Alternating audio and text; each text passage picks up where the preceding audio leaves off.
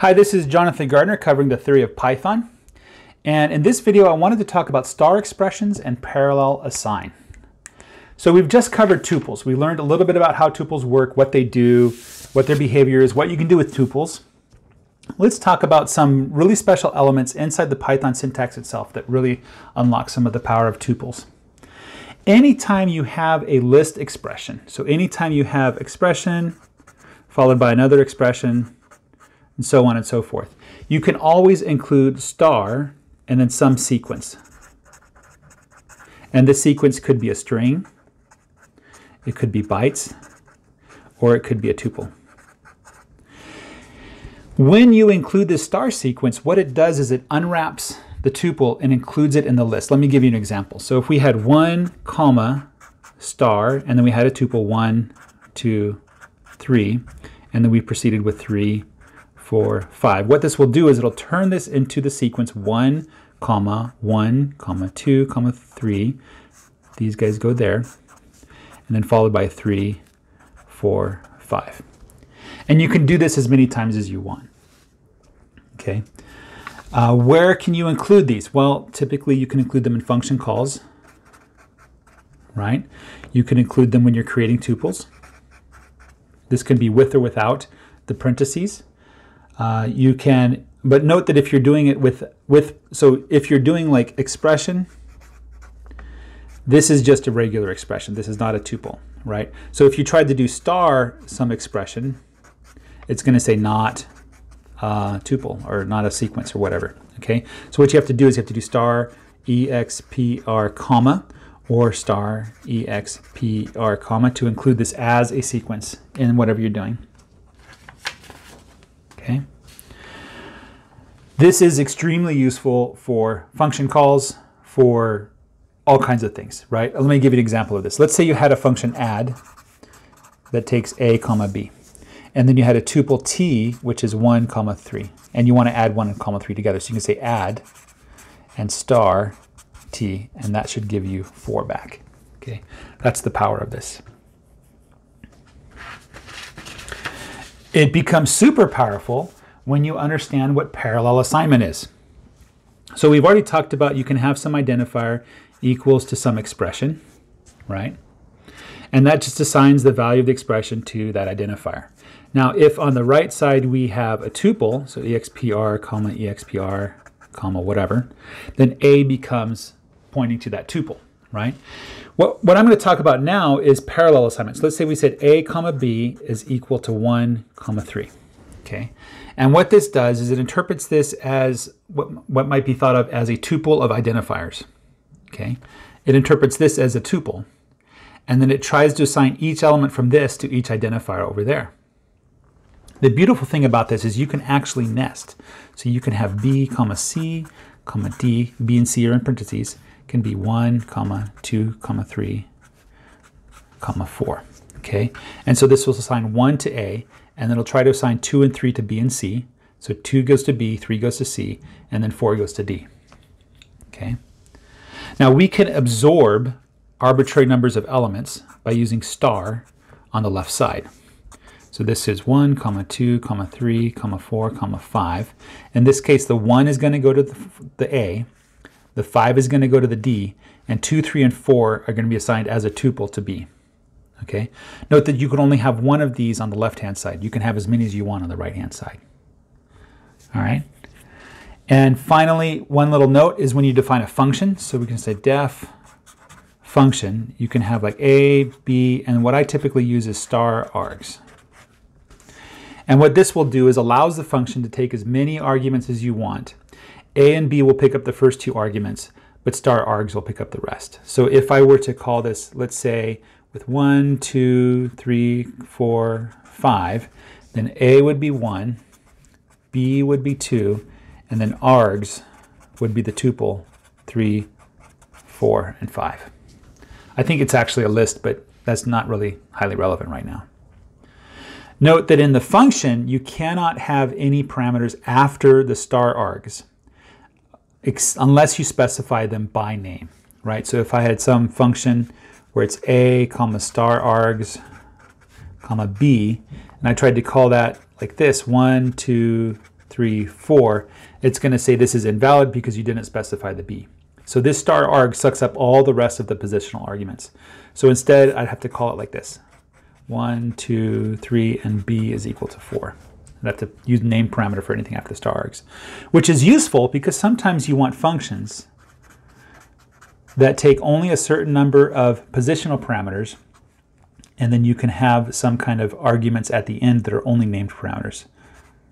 Okay, so in this case, when you call this function, you can only specify a and b as positional parameters, and you must specify n as a named parameter. This is a very powerful thing. I'm going to use an example here to show you how we might use this in practice.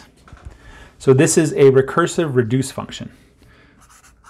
What reduce does is it takes a sequence of things and applies a function to each one and returns the eventual result. So reduce is going to take a function. It's going to take an arbitrary number of terms and then you can specify as a named parameter the initial value, but it's going to default to zero. Okay. If there are any terms left, and in Python, an empty tuple is false, but any other tuple is true, even if all the elements of that tuple is false. Okay, then we're going to return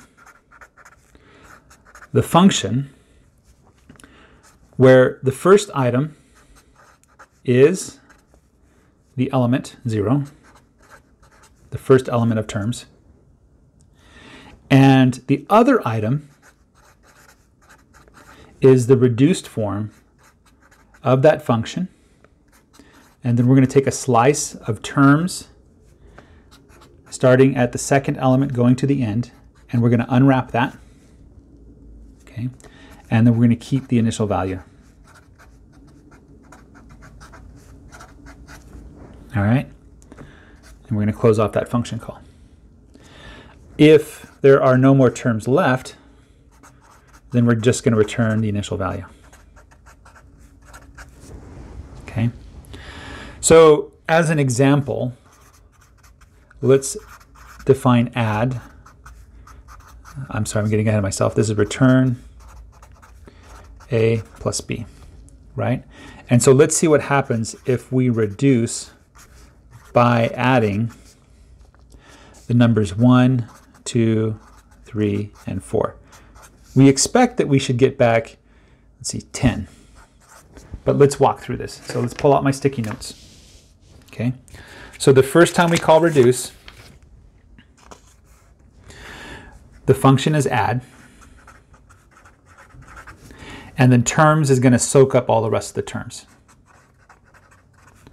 And it probably uses a list, but I'm just going to use a, a tuple here. Okay.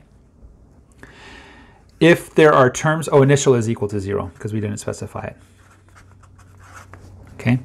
If there are terms, and indeed there are terms, then we're going to return this function called with a comma reduce of that. So let's go to the next call of reduce.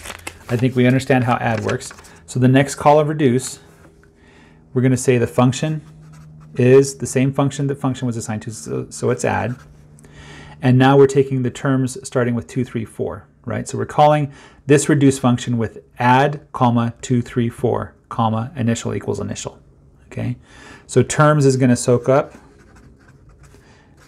2, 3, 4, and the initial is going to be equal to 0, okay?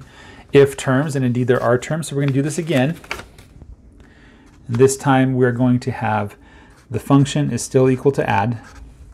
Terms are this time going to be equal to the second element on, so 3 comma 4. Initial is still equal to 0. Okay, and let's call it again. Let's leave room there so you can see that. So the function is still add. So we're still calling fn as add. And then the term starting at the first element, second element, and continuing. So now terms is equal to 4 comma. I put a comma here because this is a tuple. Okay. And then initial is still 0. And if terms, and there are terms, we're going to call one more time to reduce. This time the function is still add. And we're taking the term starting at the first element, second element. There is no second element, so this is the empty tuple. Okay, so there are no additional terms.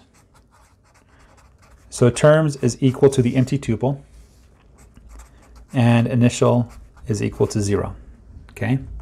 So when we call this last time, so we say if terms, there are no terms, else return initial. So this returns 0. Okay? So we return 0. So this reduce was 0. The term, the first term was 4. So this is going to return add 4 comma 0. What's 4 comma 0? That's just 4. So it's going to return 4. Okay? So we return 4 up here. This guy is going to return add of, what's the first term? 3. 3 comma 4, which is 7. Okay. So this guy is going to return add the first term, which is 2, and 7 was the return value previously, so that's going to return 9. And then this is going to return the first term, which is 1. So we're going to add, sorry, add 1 comma 9 was the return value, and so that returns 10. I'm trying to cross that off, not add, make, not make it a plus. And so indeed the result is 10. So guys, I hope you found this interesting. If you have questions, and I'm sure you have questions, please find me on Discord. There's a link in the description. Ask me your questions. I would love to help you and give more examples and improve these videos to make them more accessible to people who are new to programming. If you have any questions on advanced topics regarding this stuff, I'm more than happy to answer it as well. Guys, I hope you have a great day. Take care and bye-bye. Thank you for watching this video on the theory of Python by Real Physics. Be sure to subscribe and ring the bell, like and share this video. You can find me on Discord or support me on Patreon. Links are in the description below. Thank you so much. Have a great day. Bye bye.